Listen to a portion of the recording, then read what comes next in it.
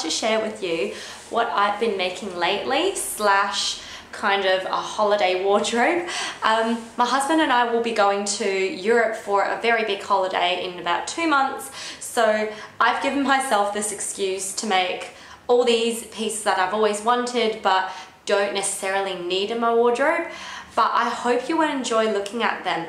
These are not the only things that I'll be bringing with me because obviously I need other things like jeans and shorts and things like that.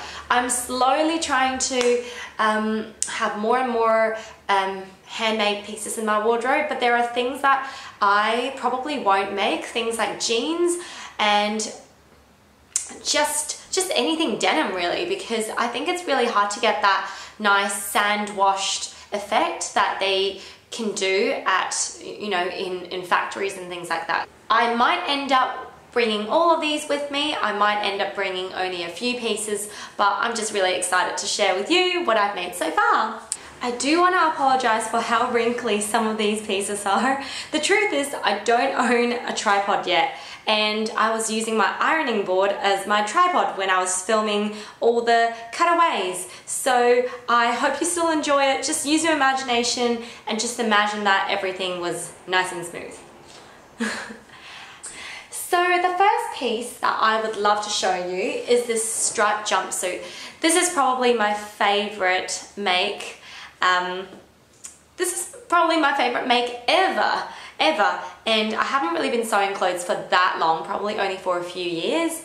Um, so it is this striped jumpsuit and it's made out of this really nice textured cotton from Spotlight. It has some weight to it but it's fairly thin and drapey and I thought it it kind of has that linen-ish look to it. Um, and I think it's just going to be really, really comfortable. It almost has a little bit of stretch this way as well. So that makes it really, really comfy to wear. It is a hack of the Claudia dress by Tessuti Fabrics and also the New Look 6350 culottes as well. Um, the only changes I made, well, what I did was I, I had cut the bodice at the waistline, added seam allowance, and, and then I just basically attached the pants to it. But for the back of the jumpsuit, instead of keeping the original kind of back of the bodice, I drafted these triangular ties um, so it will just be tied at the back. The main thing that I had to match up were the front of the bodice and the front of the pants and they just matched perfectly so that was really really cool. And as for the culottes, I did shave down the sides a little bit because if you looked at the design of the original pattern, um, the sides were actually quite flared out. It had that quite full um, culotte look to it, but I was really after a straight-legged maxi pants. So that's what I did and it just turned out really nicely. I made it so that it's like half or one centimeter off, off the ground. Um, so then I can easily wear flats with this. I don't necessarily have to wear heels with it because when I'm in Europe, i am going to be walking around a lot and I don't want to be wearing heels with it. And that's the best thing about making your own clothes. Being a very short person, I have never bought you know, a maxi dress or a pair of maxi pants that I haven't had to take up like four or five centimeters just so that I can wear it with heels. Um, so I'm really, really pleased with this make. Oh, sorry. I'm really, really pleased with this make. And I hope you liked it too. The next piece I'd like to share with you would be this skirt. I'm just wearing it with a plain white t-shirt from Cotton On or something. I do have a me-made white t-shirt, but it was in the wash, so I couldn't get it out that day. This was made out of um, a cotton called Mexican Poncho fabric from Spotlight once more. And it almost has these like mini little navy tassels kind of woven into it. And I just really, really love it. This was made from a basic pencil skirt pattern that I got for free um, with my teaching accreditation course that I did with Burda Style. So this was basically free. And um, it was a pencil skirt, but obviously I've kind of chopped it um, to a mini length and I just really really love this I've got an invisible zipper at the back Um, and yeah, I, I don't really have much to say about it except I really, really like it and it just looks really summery. The next item is something that is a little bit fancier. So this is a Rosie dress that is made out of this cotton and linen blend. Oh, hair. I've, and it's got this lovely tropical leaf print all over. This was a Rosie slash um, ultimate pencil skirt hack. So I fitted the top first and then I just matched up all the darts at the, um, at the front and also at the back. And that was it. This this didn't take much fabric at all because being a pencil skirt, you don't really need much fabric.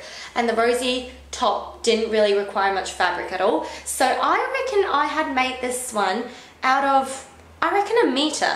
Maybe a meter and maybe 1.2 meters. So, and this is something that I'm gonna maybe bring with me in case we go out for a fancy dinner one night or something like that and I think I'm, I, I really can't wait to wear it. I have already worn this out a few times and it's just, it's just really comfortable to wear. And even though it is a linen, it's a slightly lighter weight linen, so it's not, it's not stiff at all. So I really, really like it. You know how linen can sometimes feel quite scratchy if it's, you know, a certain blend, but this cotton and linen blend is, it's quite soft, so I really, really love it. The next combo is my Sew Over It City Break Erin skirt and also my ultimate silk cami. I'm going to talk about the silk cami very quickly first. So I made it out of, I, I, didn't make it out of silk. I made it out of this lovely polyester that I got from Japan um, last year and it's a really really lovely fabric to work with except it doesn't iron so what happened was after assembling the whole top the lining kept kind of coming forward even though I had already understitched it and, and everything so what I did was I just added a line of stitching all the way around the neck um, the neck hole and also the two armholes so yeah on the Erin skirt I um, I did it in the same way as um, the original instructions, except I changed the shape of the pocket. So I didn't really like the straight pocket design because I felt like, firstly, I felt like it was a lot of stress on the fabric every time I had to put my hand in and I just really love that curved um, look. So all I did was, for the pocket facing and for the pocket itself, I've just altered the shape of the opening and that's really all I did. So it was the easiest, easiest change to the pattern. I really, really love this because it looks really sophisticated and um, yeah, yeah, I don't really have much to say about it except I really, really like this. The next dress was actually kind of a Tilly and the Buttons Bettine dress hack. But I don't know if, if I can even call it a hack anymore because I've changed it so much. So this is just kind of like a shift dress with ruffly sleeves and also a ruffly hem as well. And I've also added a belt to tie at the waist just to give it a bit more shape.